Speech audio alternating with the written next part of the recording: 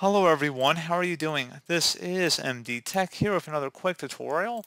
In today's tutorial, I'm going to show you guys how to resolve if your mouse cursor is disappearing on your Windows 11 computer. So this should hopefully be a pretty straightforward process here guys, and without further ado, let's go ahead and jump right into it. So, first thing I recommend trying, unplug, if you're using a USB connected mouse, try unplugging it and then plugging it back in. If that doesn't work, try plugging it into a different USB port as well. So it could be something bad with the USB connection.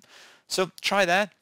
Try another mouse as well. If you have an extra mouse lying around, try and plug in that one in and see if that resolves the problem. So you might actually have a bad mouse as well. You know, they do go bad, you know, believe it or not.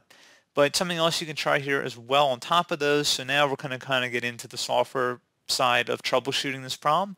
And that will entail opening up the search menu Search for Device Manager. Best result, check them back with Device Manager. Go ahead and open that up. Select where it says Mice and Other Pointing Devices. And then you want to right-click on your mouse and select Properties. Select the Driver tab. If for some reason the mouse is disabled, you want to go ahead and enable that. So perhaps you're on a touchpad. You want to go ahead and just make sure it's set to Enable Device. So again, pretty straightforward on that. You can go back to the General tab here you can go and select the Update Driver button, and you can select Browse My Computer for drivers. Select Let me pick from a list of available drivers on my computer, and then if you have a manufacturer-specific one, I recommend going with that. Otherwise, you can select the generic one from this list too, and select Next. Select Close, close out of here. And then I would suggest restarting your computer at this point.